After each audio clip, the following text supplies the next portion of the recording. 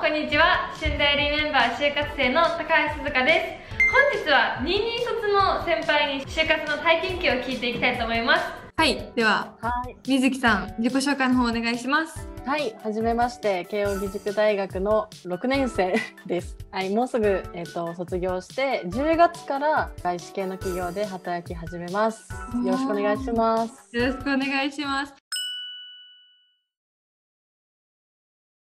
ちょっとまずはじめに水木さんがどの時期から始めてどんな感じで就活を進められたのかお聞きしたいです。始めたのが2月、1月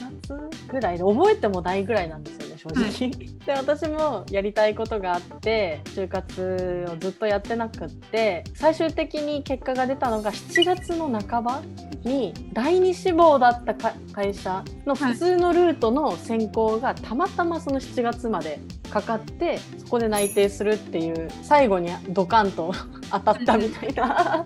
感じの結果でした。周りが大学3年生になって就活やっていく時に焦りとかってなかったんですか？マジでいい質問で3年生になってみんなが先輩とかが特に内定してたみたいな話を聞いた時に自分をやりたいことも将来の希望も何もないのに今から就活するのってどうなんだろうって思って一回もうちょっと幅を広く見たいなと思って海外にちょっと飛んででいろんな人生を送ってる方々と出会ってでちょっとバグっちゃったみたいな感じ。それでもう1年休学されたんですねそうですね。結局1年行っても見つからなくってこのまま卒業したら何も見つからないまま社会に出るっていうのはちょっとはい、なんだろうリスクが多いから休学って6万円でできるので安いですね。そうなんですよ。その6万円で1年間買えるんだったら安い買い物かもと思って買って休学券を。でもう一回残しておいたんです。うん。え休学したらマイナスになっちゃうんじゃないかなみたいな。あ思ってたんですけどそういうのって全くないんですか、私もそう思ってたんですけど実際はプラスになったかもしれないですうーん休学中何してたのとか一回も聞かれたことがまずないですし、うん。いわゆる学知化を話す時は皆さん4年間の中で選んで喋ると思うんですけど私6年間の中で選んで喋れたんであやっぱ喋れる幅は広くってあそんなことしてたんだね他の人と違いますねみたいな感じにはなったと思う。で水木さんはどのように就活を進められてたのかっていうのをお聞きしたいです。えっと、私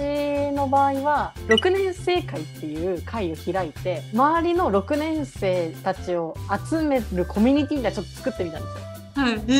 ー、でそしたら結構いるもんでなんか6人ぐらいの LINE グループになってでその人たちみんな同じ時期に就活して同じ悩み持ってたんでうちょっと結構一緒にできたのとあともう一人すごい大事な友達がいてなんかインターンで知り合ったその2個下の友達なんですけどその子と毎日朝9時から2時間ズームでお互いの面接をやり合う模擬面接みたいなのをやり続けた多分その2つの種類の友達のおかげかなと思います。ちなみに何月からそれをやられてたんですか？えっと、6年生会は4月から始めて、えっと、もう一人の友達とのズームのやつは5月の後半からです。対策をちゃんと始められたのは結構後半の方からってそう。絶対真似しない方がいいと思いますよ。第一志望をした時の心情ってどんな感じなんですか？その時ウェブテストで落ちててしかもウェブテストが3次面接の後にあったんですよ。3時の後？はい。本当にへこみました。しかも英語とか数学みたいなやつが解けてたんで、はい。性格診断で落ちてて、でもうマジでガチで合ってないんだなって思いました。そこからどのように立ち直って就活を進められたんですか？えっと、私運命論みたいなのを信じてて結局運命の先にあるところにたどり着いてそこで楽しく生活できるだろうみたいな考えがあるのでここに落ちたのもある種運命でもっと違う企業だったり違う人生が待ってってくれてるんだろうなって思ってましうーん。すごいな。なるほどなるほど。えなんかそのって選考すごい厳しいだろうなって思うんですけどた。で対策はあの朝の2時間の面接練習のみでしたか？対策は2時間のやつが多分一番効いてるのと本当の知り合いづての OB 訪問をして本当の対策を一緒にやってもらったのも大きかった。本当にその会社にいる人に面接練習とかをしてもらってた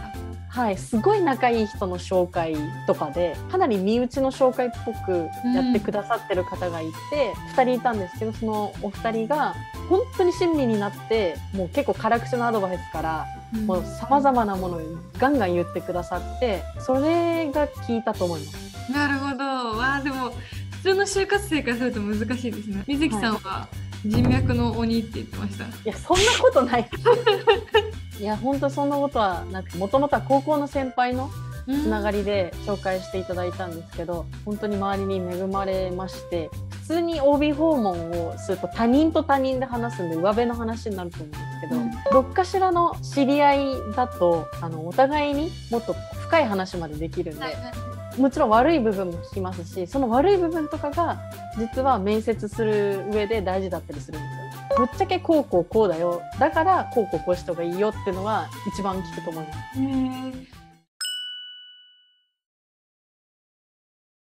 そこ水木さん的には本当に自分のやりたいこととかと全部マッチしてた感じなんですか？あ私正直やりたいことってそんなになくって、逆に言ってやりたくないことは明確にあったのでやりたくないことじゃないことができる。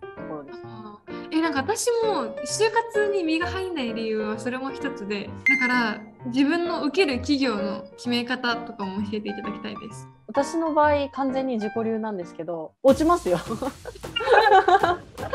ガンガン落ちるんで。世界でどれだけ先進的な企業かどうかのランキングみたいなのから